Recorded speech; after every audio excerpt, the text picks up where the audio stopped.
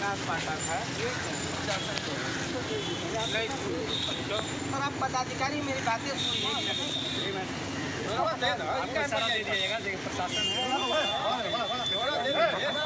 जल्दी लो जल्दी लो। हमारे साथ में सर हमारे बीच कोई ना हो लेकिन हमारा ऊपर वाला है हम अपने अपने साथ स्वयं जिला शिक्षा पदाधिकारी ने पाँच तारीख को राज्य परियोजना निदेशक द्वारा पत्र जारी किया गया। इसमें स्पष्ट रूप से आदेश था कि वेतन भुगतान 24 घंटे के अंदर किया जाए। जिला शिक्षा पदाधिकारी महोदय से को मेरी बात हुई। उन्होंने बात बहुत बेतरतीब तरीके से किया। उसके बाद मैंने पदाधिकारी, माननीय वरीय पदाधिकारी डीएम साहब से बात की। उन्होंने आश्वासन दिया। यही बात जिला शिक्षा पदाधिकारी को नागवार गुजरी। उन्होंने बस यह बात खल रही कि मैंने अपने मोबाइल से उनको फ़ोन क्यों किया? जबकि सर, मैं 2007 से जिला निर्वाचन से लेकर हर एक कार्यों में दक्ष रहा हूँ। माननीय जिला पदाधिकारी श्री अजय यादव जी ने निर्वाचन कार्य के लिए वर्ष 2008 में मुझे ज़िले में सर्वप्रथम प्रशस्ति पत्र देकर सम्मानित किया था। बक्सर ज़िले में सर्वप्रथम प्रशस्ति पत्र पाने वाले हम हैं, लेकिन यह जिला शिक्षा पदाधिकारी आपसी मतलब दुश्मनी के कारण मेरा वेतन बंद कर दिए। जबकि वेतन बंद करने का ना ही कोई स्पष्टीकरण जारी किया गया है कि आपका वेतन बंद है या इस कारण से बंद है। आपका वेतन कब बंद वेतन सर अभी 21 तारीख को जिसे 5 अक्टूबर को आया कि वेतन दे दिया जाए अगस्त माह का। इक्कीस तारीख को, को 20 तारीख को यह लोग प्रभार प्रभार का खेल खेल रहे थे प्रभार का लेन देन कर गए। उसके बाद प्रभारी बड़े डीपीओ स्थापना सुधीर सहाय जी। वो कब बने? ये बने बीस को। तो बीस से फिर मतलब उनके जिम्मे हो गए हाँ।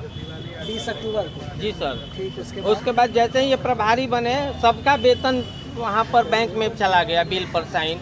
मेरे बिल पर जि, जिला शिक्षा पदाधिकारी ने मौखिक आदेश से मेरे बैंक में वेतन रुकवा दिया कि इसका वेतन नहीं करता करना है यह हमारी बात नहीं मानता है।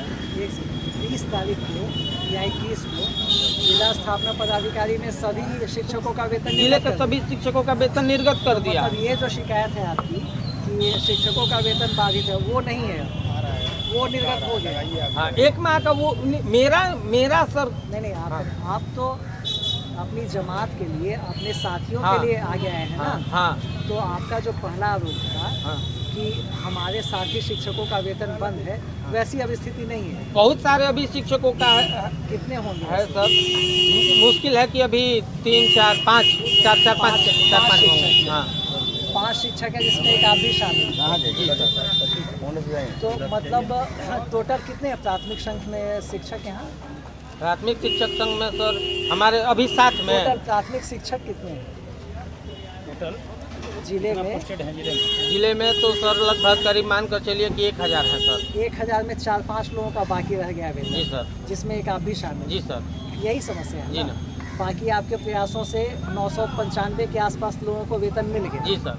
तो एक बड़ी समस्या तो आपका निदान हो गया उसका निराकरण। जी सर अब एक समस्या जिसने आपको आत्मदाह के लिए प्रेरित किया वो ये है कि आपका वेतन बंद हो गया। जी सर। और तीन चार और ऐसे लोग। जी सर। तो जब एक हज़ार शिक्षकों का वेतन का मामला बाधित था और प्रशासन ने लगभग सौ प्रतिशत मतलब निन्यानवे प्रतिशत को सुलझा दिया तो ये चार पाँच भी सुलझाने में कोई समस्या नहीं है। सर आप बड़े पद पर आसीन हैं। आप सुलझा सकते हैं लेकिन हमारे बक्सर के नोट करिए आप लोग भी। हमारे बक्सर के जो जिला शिक्षा पदाधिकारी अमर भूषण जी हैं यह कभी भी शिक्षकों के लिए भला नहीं चाहते हैं या बोलते हैं कि शिक्षकों का भला करेंगे लेकिन भला नहीं करेंगे। ये पूर्व मामले को पाठक जी हम लोग व्यक्तिगत नहीं बनाएँगे।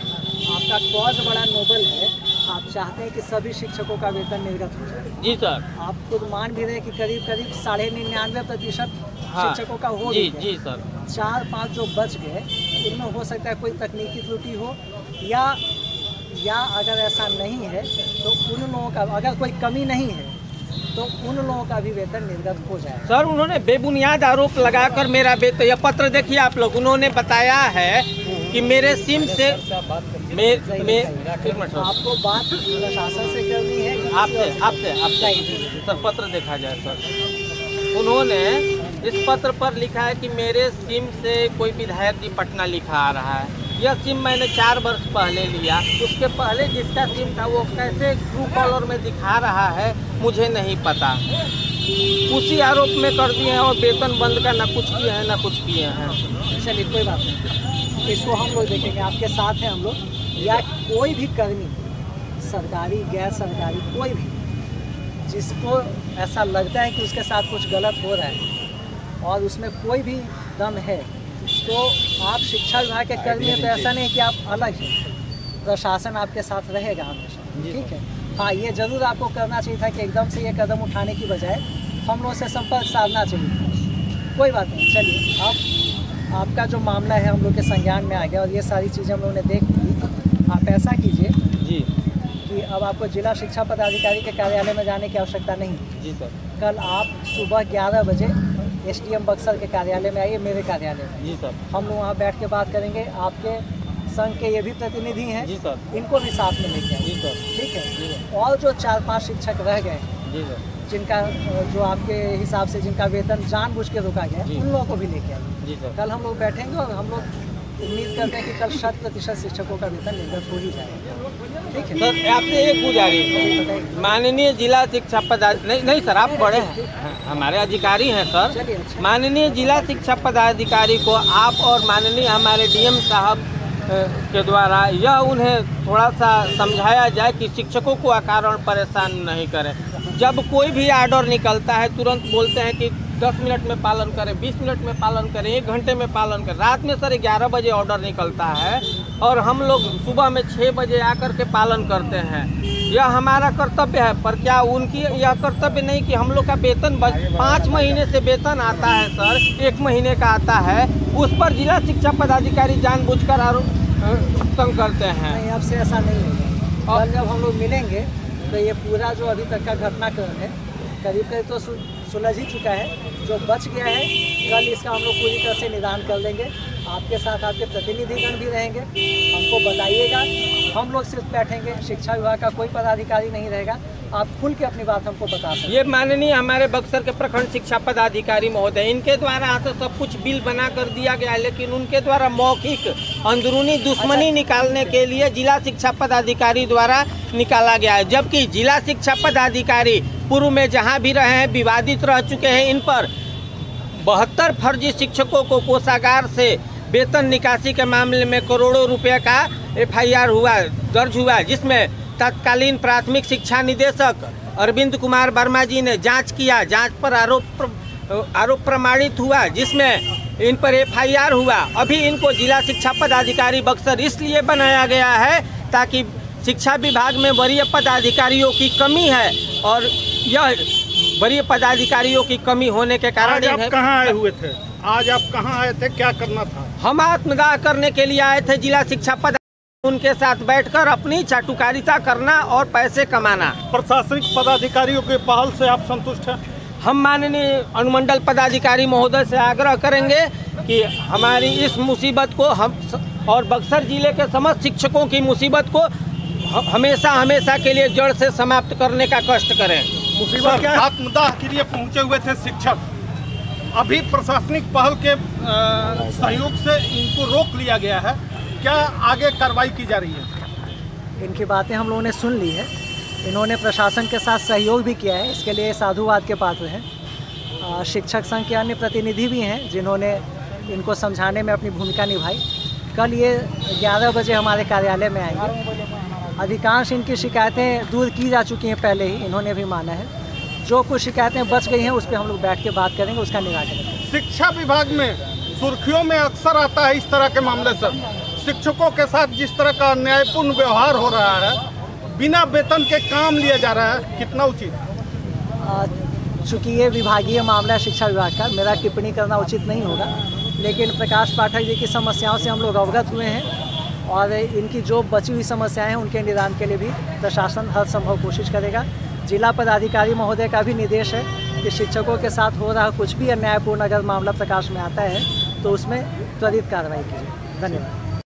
दाह की कोशिश की हालाँकि उसे रोक लिया गया और उसका सीधे तौर पे आरोप है कि जिला शिक्षा पदाधिकारी उसे प्रताड़ित करते हैं। तो आप पे इस तरह का आरोप लग रहा है तो क्या कहेंगे अगर हमारे शिक्षक सोशल मीडिया पर हमारे सरकार के नीतियों का और सरकार के कार्यों का अगर विरोध करते हैं आप पदाधिकारियों के प्रति प्रतिकूल टिप्पणी अगर कंति अंकित करते हैं तो कोई भी सरकारी कर्मी मैं जहाँ तक जानता हूँ चाहे कोई भी सरकारी कर्मी हो, किसी भी सरकारी मुलाजिम को अपने अपने ही सरकार के विरुद्ध में, सरकार की बताए नीतियों के, बनाए नीतियों के विरुद्ध में वक्तव्य देने का अधिकार नहीं है। और अगर ऐसा कोई कर्मी देता है तो उसके लिए अलग से संहिता हमारे यहाँ बनी हुई है, जिसको आचरण संहिता कहते हैं।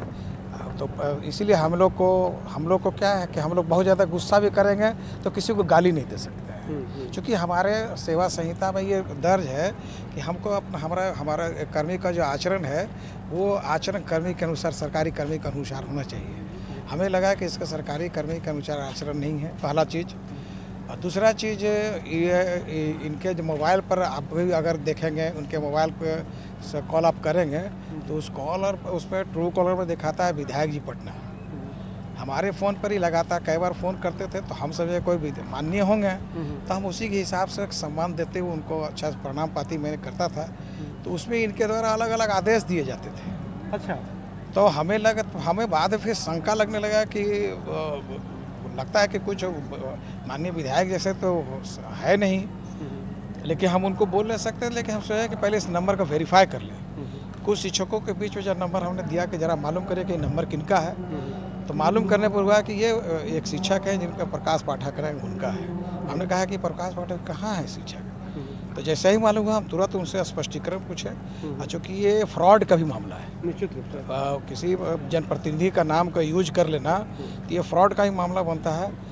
तो हमें लगा कि अगर इन पर एफआईआर करने से पहले ज़्यादा ज़रूरी है कि एक बार हमको नेचुरल जस्टिस के अंतर्गत एक बार इसे स्पष्टीकरण कर लें। लेकिन चूँकि गलती इस प्रकार की है कि इस प्रकार की गलती के लिए वेतन भुगतान किया जाना भी हमें ने हमें लगा कि उचित नहीं है। उसी को ध्यान में रखते हुए तत्काल उनका हम लोगों ने हमने वेतन स्थगित कर दिया। और स्पष्टीकरण उनसे पूछा है। स्पष्टीकरण का जो जवाब आया है, वो भी संतोषप्रद नहीं है।